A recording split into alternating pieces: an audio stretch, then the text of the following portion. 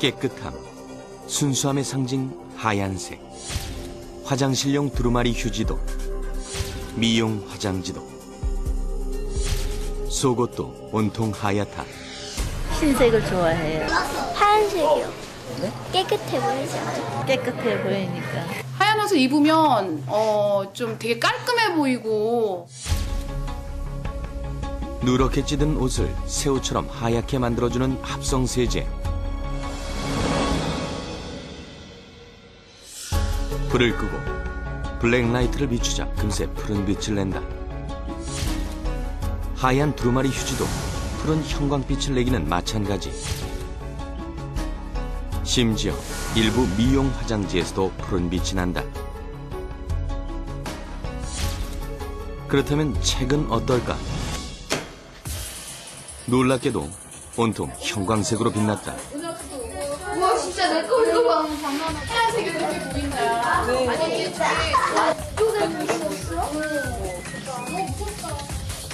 더 충격적인 것은 두루마리 휴지를 만진 손에서도 푸른 형광빛이 묻어났다는 것이다.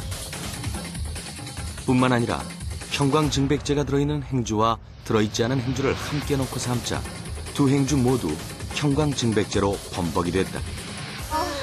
몰라. 끔찍한 것 같아요. 어, 겁날 정도예요. 그 어둠 속에서도 책이 환해서 까만 글자가 보인다니까요. 지금 현재 뭐 국제적으로라든지 우리 국내적으로 형광 증백제가 안전 그 위험 물질이라는 게 결정이 안 났습니다. 물론 건강한 사람에게 소량이 노출된 경우라면 문제가 없다. 하지만 피부가 약한 어린아이나 민감한 피부를 가진 사람은 직접 접촉하지 않도록 주의를 기울여야 한다는 것이 의학계의 공통된 의견이다. 자연적인 게 아닌 인공적으로 합성된 이런 물질들을 장기간 사용했을 때 그 부작용에 대해서는 현재까지 알려져 있지 않은 게 사실이고 어, 오랜 기간 사용했을 때 그 부작용이 나타날 수도 있습니다. 알지 못하는 사이에 우리의 평범한 일상을 위협하고 있는 형광증백제. 그 하얀 유혹 뒤에 숨겨진 진실을 만나본다.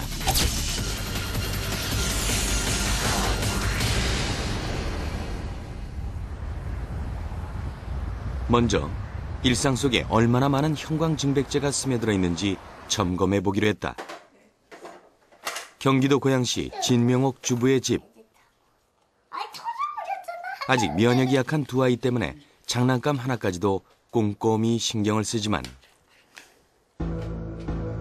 뭐든지 입에 넣고 보는 둘째 이내 때문에 잠시도 안심할 수 없는 게 사실이다.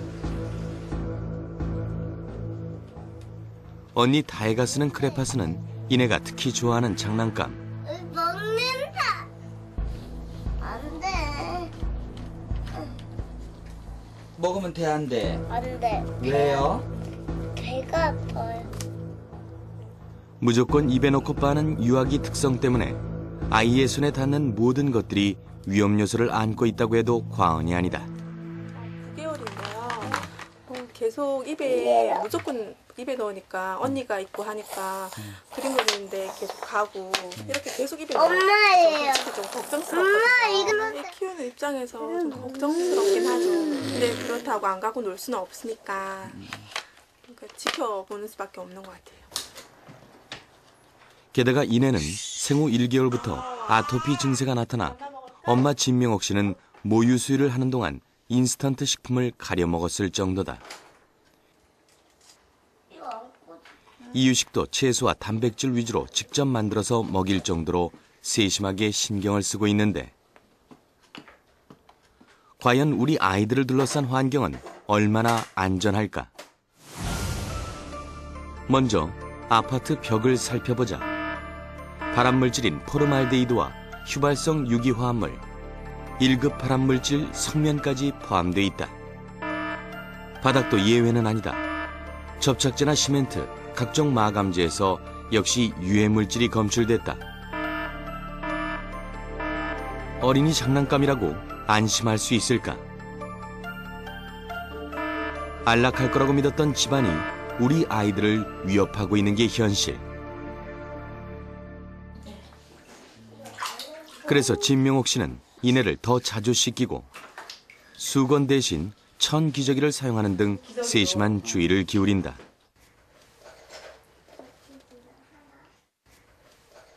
아이 옷은 분리해서 따로 빨고 늘 삶아서 입히는 것은 물론이다.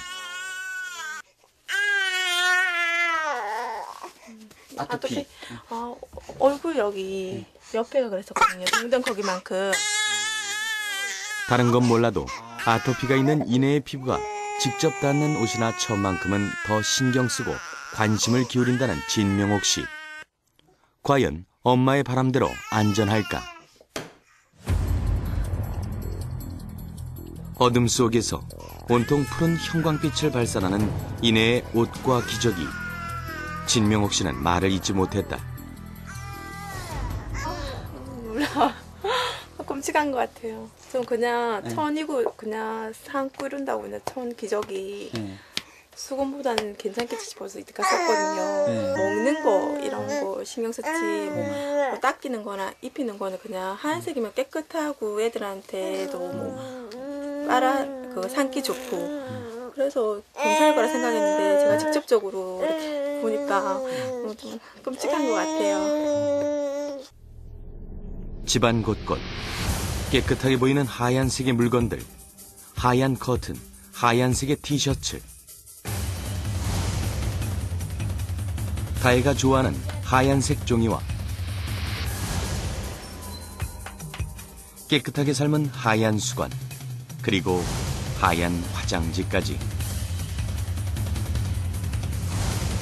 깨끗하다고 생각했던 하얀 물건들은 어둠 속에서 모두 푸른 형광색으로 변해버렸다. 그 어느 때보다 환경과 건강에 대한 관심이 높은 시기라고 하지만 실제로 소비자들은 형광증백제가 우리 주위에 얼마나 스며 있는지 제대로 인식하지 못하고 있는 게 현실. 단지 형광증백제에 대한 막연한 불안감만 커지고 있을 뿐이다. 피부에 여기 피부에가 안 좋아가지고 형광물질 있으면은 별로 어린애들 그저 대변 보고 닦아주면 막 가렵다 한다고. 몇 년 전 유해성 논란을 일으키면서 일상 속에서 퇴출되는 듯 보였던 형광증백제. 하지만 최근 시중에서 판매되는